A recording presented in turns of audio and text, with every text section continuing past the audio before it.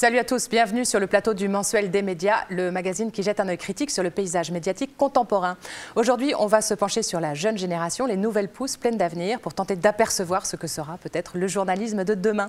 On le fera en compagnie d'un invité, Blaise Magnin. Bonjour. Bonjour. Bienvenue. Alors, Blaise Magnin, vous êtes membre d'Acrimed, ça veut dire Action Critique Média. C'est un site internet qui se propose d'être un observatoire critique des médias et qui propose donc euh, des tas d'articles à lire en ligne. Mais je crois qu'Acrimed, ce n'est pas que des articles à lire en ligne Non, pas seulement. Euh, on publie aussi un trimestriel qui s'appelle Média Critique. On organise des conférences débats, on organise des projections de documentaires ou de, films de fiction ayant traite aux médias. Euh, on organise une journée de la critique des médias. Et puis on est aussi une association qui se veut une association Carrefour, euh, dans laquelle se rencontrent des universitaires spécialistes des médias, des syndicalistes, des acteurs du mouvement social, et puis toutes celles et tous ceux qui veulent faire ou refaire des médias une question politique. Donc beaucoup d'occasions de diffuser euh, l'expertise critique d'Acrimed. Alors moi, sur le site d'Acrimed, il y a un article qui avait retenu mon attention. Il est paru en 2003. Il était signé François Ruffin. Il y évoquait son expérience d'étudiant au CFJ, le Centre de formation des journalistes. Expérience à partir de laquelle il a écrit un livre, Les petits soldats du journalisme, qui euh, formulait un discours très critique euh, contre le formatage exercé dans cette école, qui était destiné, selon lui, moins à former des professionnels exigeants qu'à les conformer aux exigences du marché de l'information, assez peu soucieux de la qualité de l'information. Alors on a voulu voir, 15 ans après la sortie de ce livre, qu'est-ce que c'était devenu le CFJ Reportage.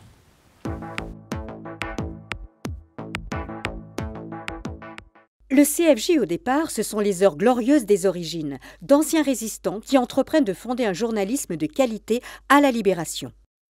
Et puis au début des années 2000, on découvre que c'est surtout devenu une usine à formater les journalistes et un tremplin pour des gloires médiatiques pas forcément très consciencieuses. Alors on a eu envie de voir ce que c'était devenu et en allant poser notre micro au cœur de cette prestigieuse école, on a eu une bonne surprise. Quand on prend Libération, quand on prend Le Monde et quand on prend Le Figaro par exemple, historiquement appartiennent à une frange plutôt euh, modérée du, du journalisme, à savoir centre, centre-gauche, qu'on appelle modéré, euh, qui essaie de donner un peu des leçons de, neutralité, euh, d'objectivité journalistique, auquel moi je n'adhère absolument pas. Je pense que le journalisme qui veut absolument tout décoder, qui veut absolument dire oui, ça c'est vrai, ça c'est faux, se trompe vraiment viscéralement sur la façon dont il faut faire du journalisme aujourd'hui. D'une certaine façon, euh, évidemment, on est amené à travailler dans les médias qui recrutent. Donc de fait, on, va, on a des intervenants de toute façon qui viennent de, médias, euh, des médias qui vont nous recruter plus tard. Donc il faut, euh, je dirais, ne pas être dupe de ce qu'on nous apprend. Et savoir que oui, euh, à chaque porte ouverte vers un intervenant extérieur qui vient d'un média, il y a un risque de formatage ou un risque de, voilà, de, rentrer dans des critères bien précis de création de l'information, de production de l'information. Maurice est-il représentatif de l'esprit général des étudiants du CFJ En tout cas, la critique du formatage est bien présente à l'école et les prétentions à la neutralité font l'objet d'un vrai débat entre les étudiants. Il y a eu énormément de débats au sein de, ma majeure à moi euh, sur la sortie du Décodex, donc l'outil du monde qui labellise les sites internet. Il y, a, ce passage de Samuel Laurent, donc, qui est le chef des décodeurs euh, à Arrêt sur Image, qui est, je trouve, euh, comment, éloquent dans cette perspective. C'est-à-dire qu'on a un mec qui est chef du service d'un service du monde et qui est incapable d'avoir du recul sur euh, les questions d'objectivité journalistique, les questions de neutralité journalistique, et qui dit euh, qu'il va mettre Fakir en, euh, en, orange parce qu'il dit oui mais Fakir exprime un point de vue. Ça c'est un débat sur lequel on a eu beaucoup entre nous. On a tous conscience en effet des limites de la notion d'objectivité journalistique, de neutralité on est tous conscients des difficultés, des, bah, difficultés qu'on va rencontrer dans notre, vie future. Et je pense que eux comme moi ont énormément conscience de, euh, de tout cet équilibre à trouver entre le formatage et, la liberté journalistique. Sauf que c'est compliqué d'être euh, toujours un, espèce de, combattant marginal et que bah, on a aussi, euh, nous, de, notre côté, des, des, contraintes qui sont liées au coût de nos études, qui sont liées au coût de notre vie à Paris, qui sont liées à plein d'autres choses qui font que euh, on euh, à la fois essayer d'être en accord avec nos idéaux et en même temps euh, devoir bien, bien gagner sa croûte. Ne pas être dupe de ce qu'on nous apprend, c'est plutôt rassurant. Apparemment, la critique du formatage est présente dans cette génération, en tout cas. Oui, effectivement, la, lucidité euh, de, jeune homme, la réflexivité qu'il a sur, euh, sur sa pratique euh, sont rassurantes. En même temps, je voudrais apporter quelques bémols. le premier, il le dit lui-même, il est tout à fait conscient qu'il va être confronté à des contraintes très fortes quand il va essayer de rentrer dans une grande rédaction. Et ces contraintes risquent de l'amener à faire ce qu'il ne veut pas faire aujourd'hui pour, pour manger, comme il le dit, tout simplement pour payer son loyer c'est d'autant plus vrai qu'on est dans une euh, conjoncture de très forte précarisation euh, des, journalistes et a fortiori des jeunes journalistes, euh, et que la précarité, c'est, ça pousse au conformisme. Mmh. donc premier bémol, deuxième bémol, on a publié récemment sur, le site d'Acrimed un témoignage de Nina Faure et Julien Brigaud, qui sont deux journalistes indépendants qui réalisent des, des petits films très engagés et qui sont intervenus au sein de l'école de journalisme de Montpellier, où ils ont été, selon leur propre critères extrêmement mal reçus, avec justement euh, un discours extrêmement conformiste de la part des étudiants qui remettaient en cause euh, ce qu'ils faisaient. Et là, le, jeune homme le dit très bien, il y a eu beaucoup de débats à l'intérieur de son école, et, à, mon, à, mon, avis, euh, dans sa promotion, il va y avoir des étudiants qui, qui, trouvaient le décodex ou certaines pratiques critiquables ou qu'on peut contester d'un certain point de vue, au contraire, tout à fait bienvenue et légitime. Alors justement, le décodex, donc, qui fait l'objet d'un discours très critique de la part de cet étudiant, Maurice, le Codex, euh, vous, euh, en tant que membre d'Acrimed, vous personnellement, qu'est-ce que vous en pensez de cette entreprise donc, du journal Le Monde qui euh, propose une espèce d'application Internet pour évaluer les différents sites d'information et leur mettre des couleurs selon la fiabilité des informations qu'ils délivrent, ces sites? Qu'est-ce que vous en pensez du Écoutez, On était littéralement horrifiés par, cette invention du monde, cette prétention normative à dire ce qui est bien et ce qui n'est pas bien, cette espèce de police de la pensée, ce conformisme intellectuel aussi, euh, à notre avis, est, très contre-productif. Il y a une, euh, une, baisse de confiance en général dans les médias, parce que nous, on pense que c'est parce que les médias manquent largement de pluralisme, euh, font toujours valoir les mêmes formes de pensée, les mêmes positions. Et là, la réponse à cette défiance, c'est de dire ce qu'il faut penser. ça va à l'inverse de ce qu'il faudrait faire. Eux diraient, c'est pas dire ce qu'il faut penser, c'est dire ce qui est fiable, c'est-à-dire ce qui est vrai, ce qui relève des faits, et ce qui n'est pas fiable, c'est-à-dire ce qui relèverait des opinions. Euh, donc ils ne se prétendent pas eux-mêmes, évidemment, une police de la pensée, ils s'en défendent. bien sûr, ils s'en défendent, euh, mais dont ils ne se rendent pas forcément compte non plus, euh, c'est de, cette mythologie professionnelle réellement que sont la, neutralité et l'objectivité. ça mériterait vraiment de long développement et beaucoup d'illustrations pour le montrer, mais on ne peut pas être neutre et objectif. Il y a toujours un point de vue derrière, qui se cache derrière euh, un mot, euh, une intonation, etc. Et, prétendre euh, à la neutralité et à l'objectivité, c'est totalement irrecevable. Alors, il y a un point limite que vous avez déjà évoqué, qui est la question du marché de l'information. Ces étudiants journalistes, ils vont être recrutés sur un marché de l'information, et donc ils vont être amenés à renoncer une partie de leurs idéaux pour se conformer bah, aux exigences du marché. donc, on a l'impression qu'on est piégé, on ne peut pas produire un bon journalisme tant que le journalisme, il est financé euh, par euh, l'économie de marché. Ce serait quoi une bonne économie euh, de l'information qui permettrait de produire un journalisme de qualité? Ça serait une économie de l'information qui laisse plus de place au pluralisme, tout simplement, dans les grands médias, et puis qui laisse plus de place aux médias alternatifs à l'extérieur des grands médias. et ça, c'est une question économique c'est une question économique, c'est une question éditoriale aussi, les dieux sont liés, mais on voit que des modèles éditoriaux euh, alternatifs, comme Mediapart, peuvent trouver une véritable réussite économique. Euh, alors, ça ne veut pas dire que euh, les médias alternatifs sont une alternative aux grands médias. des médias qui s'adressent à des millions de personnes existeront toujours et d'une certaine façon seront nécessaires. Et il faut arriver à les transformer de l'intérieur pour leur permettre de développer un un autre discours ou de laisser euh, une place qui leur revient à mhm. d'autres discours. Mais donc il faudrait les infiltrer, en fait. Vous dites qu'il faut les transformer de l'intérieur, donc il faudrait parvenir à infiltrer ces grands médias dominants Mais je pense qu'ils sont déjà en partie infiltrés. Ce, le jeune homme qu'on voit dans le reportage, euh, euh, sans doute, essaiera de ne pas rentrer dans les formats qu'on essaiera de lui imposer. Et il y arrivera sans doute par moment. Il n'y arrivera pas toujours, mais, mais par moment. on parlait du monde. Dans le monde, il y a, on, on peut trouver d'excellents d'excellents reportages et d'excellents articles. On dit souvent à Acrimed qu'un autre journalisme est possible, mais qu'il existe déjà. Même sur France Télévisions, on peut trouver de l'excellent journaliste. Tout ça, ça existe. Il faudrait simplement que ces excellents journalistes arrivent à dominer les rédactions et, et pas en être quelquefois des alibis. Ouais. Alors, face à ces médias euh, institutionnels dominants, euh, donc il faut infiltrer, se sont développés les médias alternatifs que vous venez d'évoquer, euh, fabriqués avec les moyens du bord, par des bénévoles, se donnant à eux-mêmes leurs propres contraintes. Ils ont fleuri sur les réseaux sociaux, ils se sont beaucoup développés, ils ont gagné des, audiences considérables, parfois très spectaculaires. Alors, on est allé à la rencontre des équipes de deux de ces médias alternatifs, Osons causer et Le Fil d'actu. Reportage.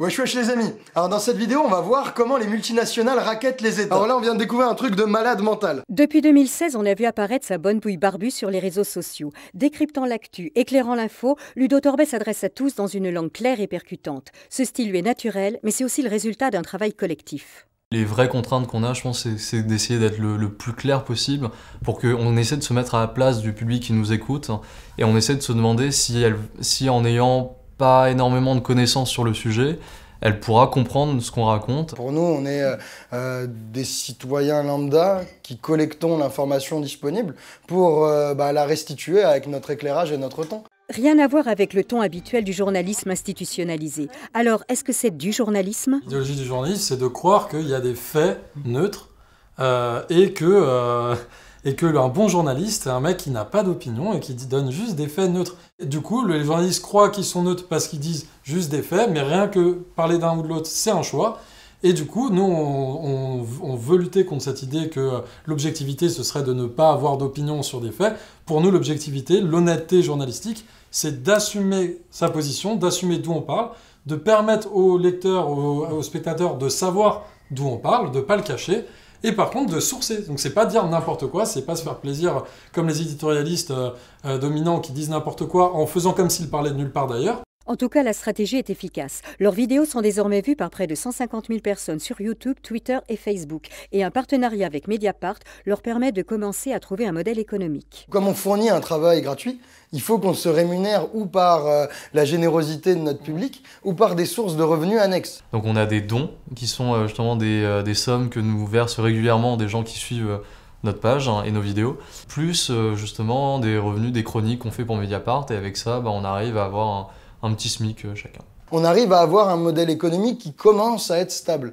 Mais euh, pour nous, ce qui compte, c'est que nos vidéos soient accessibles pour tout le monde, donc qu'il n'y ait pas de barrière tarifaire pour accéder à nos vidéos, et qu'on ait notre liberté de ton absolue.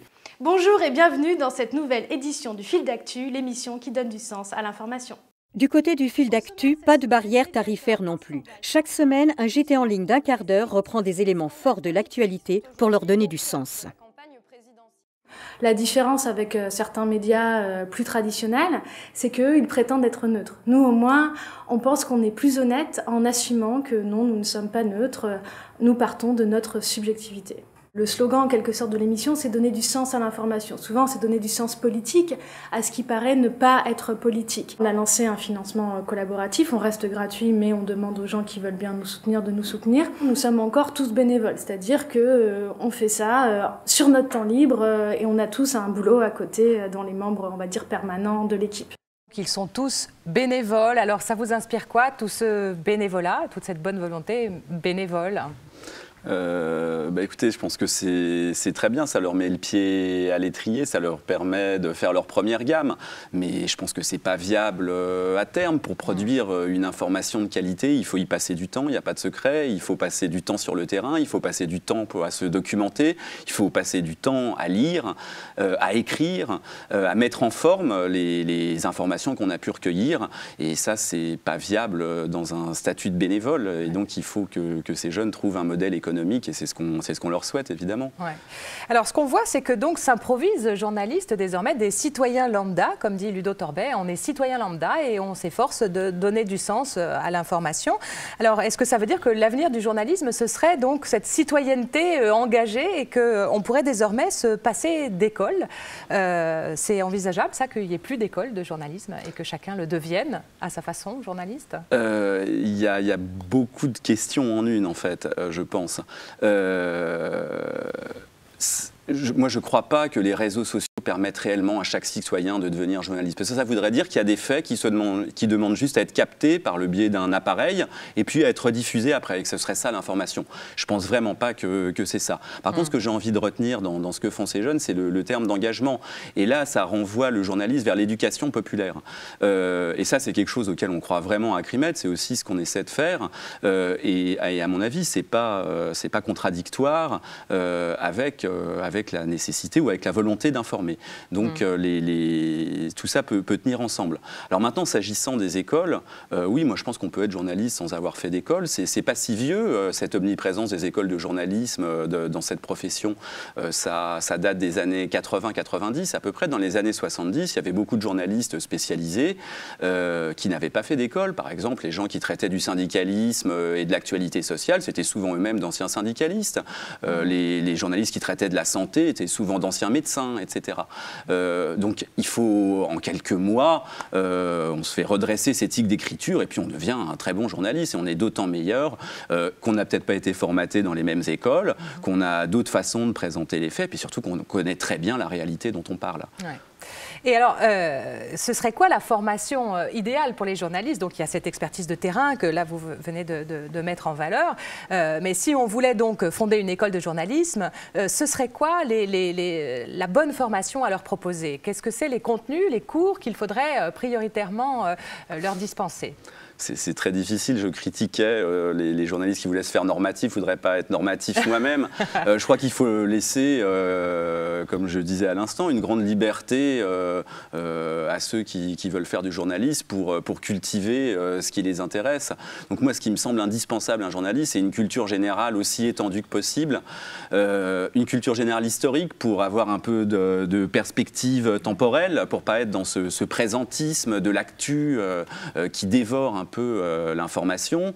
Euh, donc une culture générale étendue, littéraire euh, sans doute aussi. Pour la qualité du style rédactionnel Pour la qualité mm -hmm. du style rédactionnel, pour aussi avoir des, des points de vue originaux sur le monde social.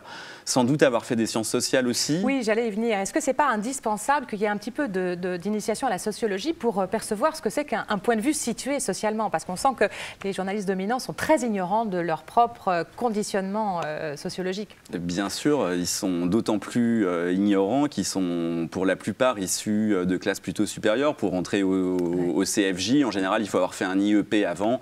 Et on sait que dans les IEP, eh ben, on recrute souvent euh, des enfants des classes supérieures.